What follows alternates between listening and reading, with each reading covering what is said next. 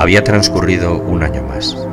La abadesa del convento de Santa Inés y la hija de Maese Pérez hablaron en voz baja, medio ocultas entre las sombras del coro de la iglesia. El esquilón llamaba a voz herida a los fieles desde la torre, y alguna que otra rara persona atravesaba el atrio silencioso y desierto esta vez, y después de tomar el agua bendita en la puerta, escogía un puesto en un rincón de las naves, donde unos cuantos vecinos del barrio esperaban tranquilamente que comenzara la misa del gallo. Ya lo veis, decía la superiora, vuestro temor es sobremanera pueril. Nadie hay en el templo. Toda Sevilla acude en tropel a la catedral esta noche. Tocad vos el órgano y tocadle sin desconfianza de ninguna clase. Estaremos en comunidad. Eh, pero proseguís callando, sin que cesen vuestros suspiros. ¿Qué os pasa? ¿Qué tenéis? Tengo miedo, exclamó la joven con un acento profundamente conmovido. ¿Miedo? ¿De qué? No sé, de una cosa sobrenatural. Anoche, eh, mirad, yo os había oído decir que teníais empeño en que tocase el órgano en la misa, y Ufana, con esta distinción, pensé arreglar sus registros y templarle, al fin de que hoy os sorprendiese. Vine al coro, sola. Abrí la puerta que conduce a la tribuna.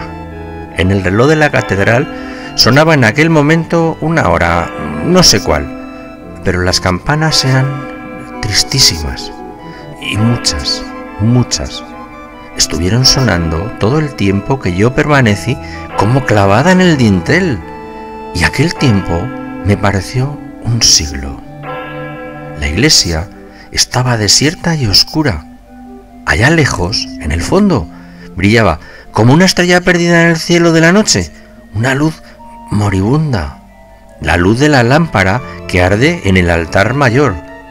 A sus reflejos, debilísimos, que sólo contribuían a hacer más visible todo el profundo horror de las sombras, vi, le vi madre, no lo dudéis, vi un hombre que en silencio y vuelto de espaldas hacia el sitio en que yo estaba, recorría con una mano las teclas del órgano, mientras tocaba con la otra a sus registros.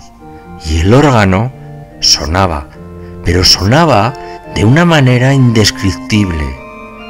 Cada una de sus notas parecía un sollozo ahogado dentro del tubo de metal, que vibraba con el aire comprimido en su hueco y reproducía el tono sordo, casi imperceptible, pero justo. Y el reloj de la catedral continuaba dando la hora, y el hombre aquel proseguía recorriendo las teclas. Yo oía hasta su respiración. El horror había helado la sangre de mis venas. Sentía en mi cuerpo como un frío glacial y en mis sienes fuego. Entonces quise gritar, pero no pude. El hombre aquel había vuelto la cara y me había mirado. Digo mal, no me había mirado porque era ciego. Era mi padre.